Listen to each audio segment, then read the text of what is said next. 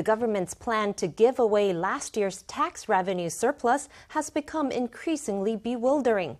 Initially, a government source had said that low income workers would receive 10,000 NT each. A few days later, the cabinet retreated on the plan, saying the money might go to young couples or epidemic prevention instead. The news was soon followed by the president announcing that low income workers would get a tax break in May. Today, a lawmaker added more fodder for confusion. According to KMT legislator Tseng Ming-chung, the government had misrepresented the source of the money it was trying to give away.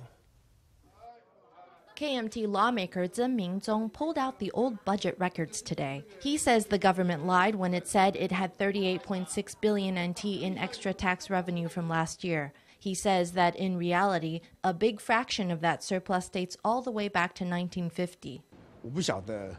I do not know why the surplus has gone untouched for so many years by previous administrations. Now the Tsai administration wants to bring it out and put it to use right before the elections. For days now, the government's cash gift program has been engulfed in a maelstrom of contradiction and confusion.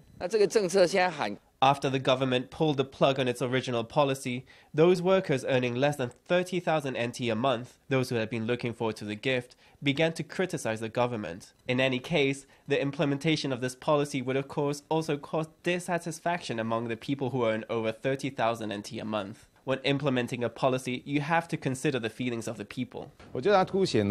I think that the government's hand fisted decision making shines through in this incident. Right now, it is hard for me to tell. Does the cabinet still exist?